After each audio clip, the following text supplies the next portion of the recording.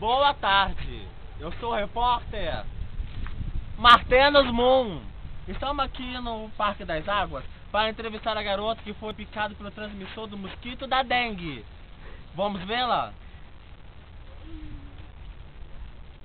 Boa tarde. Boa tarde. Qual é o seu nome?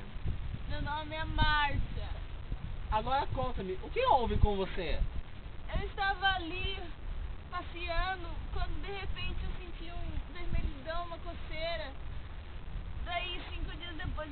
mal. Eu fui picada pelo Aércio egípcio. Egípcio. Você não quer dizer Aes egípcio?